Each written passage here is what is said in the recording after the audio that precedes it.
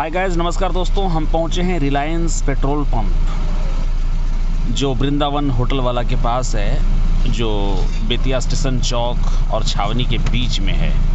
Station चौक ही कह सकते हैं स्टेशन चौक के पास जो रिलायंस पेट्रोल पंप है तीस दिसंबर 2021 का रेट है, बिरानवे रुपये अट्ठासी पैसे प्रति लीटर।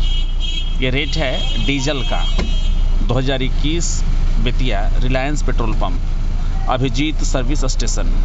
जी हाँ दोस्तों, लोग कहते हैं रिलायंस पेट्रोल पंप से तेल लेने से फ़ायदा है और अच्छी क्वालिटी रहती है। फ़िलहाल तीन हज़ार रुपये का तेल बत्तीस पॉइंट तीस लीटर आया है। बिरानवे रुपये अट्ठासी पैसे डीजल का रेट है। Reliance petrol pump Bettiah.